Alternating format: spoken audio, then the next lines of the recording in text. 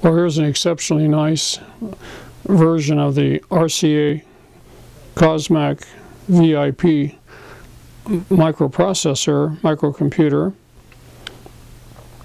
with the 1802 uh, CMOS processor. This uh, computer is very nice condition. It has, of course, the uh, built-in tape cassette recorder player and a video monitor to go into a video display and it has lots of options. We're going to show you these options too. Nice little case. The case is just held on by some little tabs so we can take the case off. And so you zoom in a little bit here. Here's the memory section permanent memory and then some other memory plugged in so it's got the full memory complement of 2114. So here's the processor chip, the 1802 microprocessor chip. Some interface connectors back here and we're going to see that uh, we have some interface devices as well. Doesn't have any controls, a reset, and then three little LEDs that tell you the power's on, tape is running, and one other data light. There, got the case back on. So what I want to do now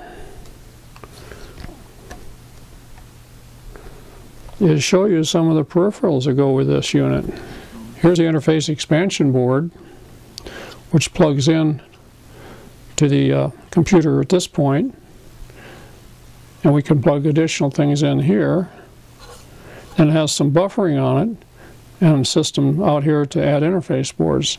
So this is a very nice uh, So we just plug it in here and it's all set to go. We're very fortunate to have a number of cards come with this uh, Cosmac computer. Of course, the interface uh, board here to do the expansion uh, with some buffering on it. Very nice. It comes with the uh, tiny basic ROM card, February of 79. So we can run Tiny Basic with this uh, computer, plugging this into the expansion interface.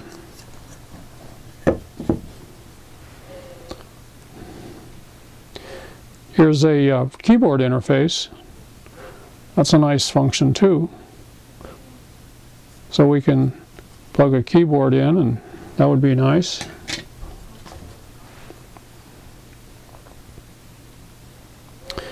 Here is the um, super sound card with uh, audio in and out, volume control. Probably a little higher quality, a little faster data rate uh, recording than the internal uh, audio recorder circuitry that's on the computer itself.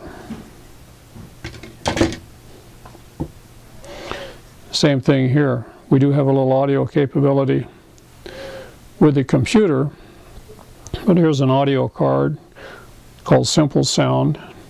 Little audio amplifier on it, place for this plug-in earphones in as well.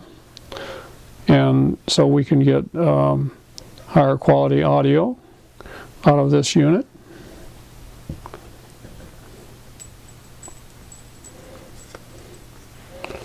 And here's a really nice card, color board with the color generators and uh, video display circuitry on the card. Of course, the output here goes to a coaxial cable goes to your video monitor. So these are the five interface cards plus the interface expansion unit itself with the buffers on it.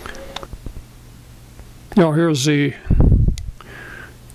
computer with all the cards plugged in that I have, all five of them into the expansion interface. So you can run them all at the same time, including Tiny Basic is plugged in there. Now one, one additional thing here, we do have a little software for this computer.